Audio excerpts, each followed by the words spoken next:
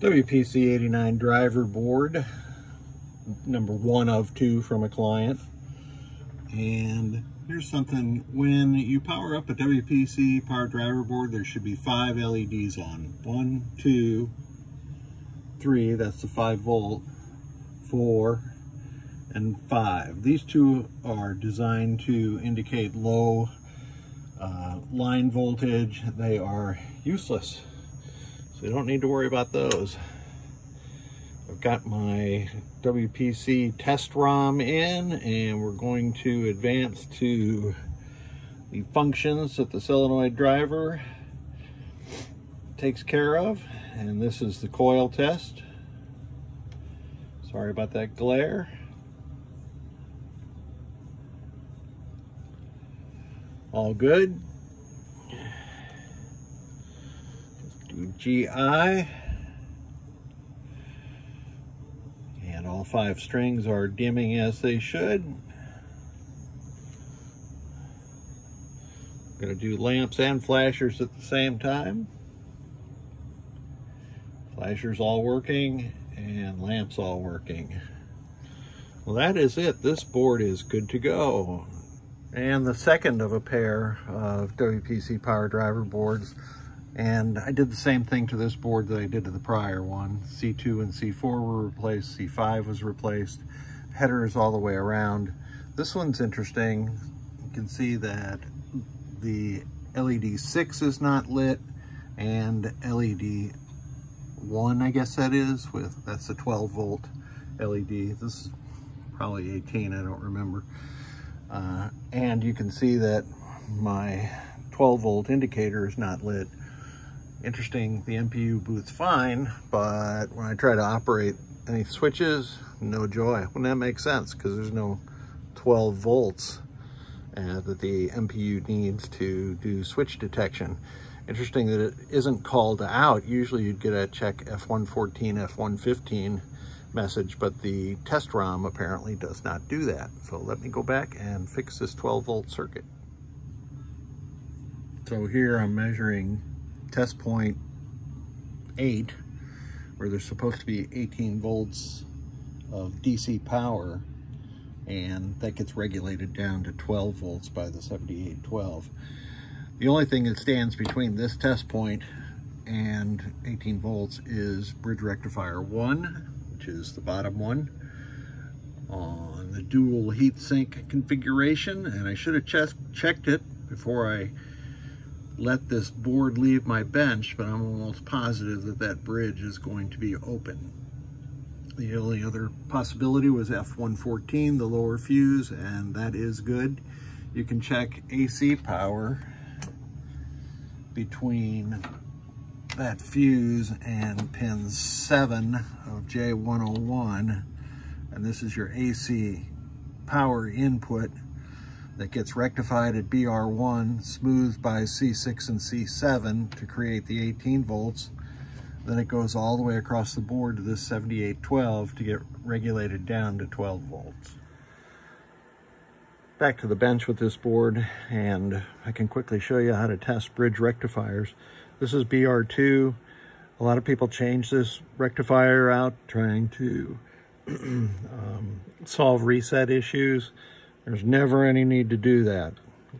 Here's BR1 and this is the one I suspect. So I'm going to test a working bridge rectifier first. So I have black on the leg of the rectifier that is out of square and red on the flanking legs. And then I go across with the red and black on the flanking legs. And that is a good bridge rectifier as each reading was between 0.4 and 0.6, 0.7 we say sometimes. Now I'm going to go down to the suspect bridge and that is open. I have never seen a bridge rectifier open on all four legs. Interesting. And here is the open bridge and the new one I'm going to put on. And the whoever put this bridge on in the past, and this is the second one, at least the second one that's been on, because that's not a factory job Uh, failed to put any heat conductive grease on the heatsink And that's designed to transfer more efficiently the heat from the metal case of the bridge to this aluminum heatsink.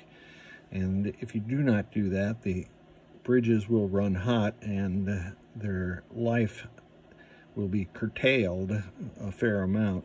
So when I put this back together, I'm going to put some heatsink compound on here, this stuff right here. I'll put it on both bridges. And when I put this back on, I will screw the heatsink to the existing bridge first and then let the other bridge find a plane that it's happy with because the tops of the bridges have to be in the same plane as this heatsink.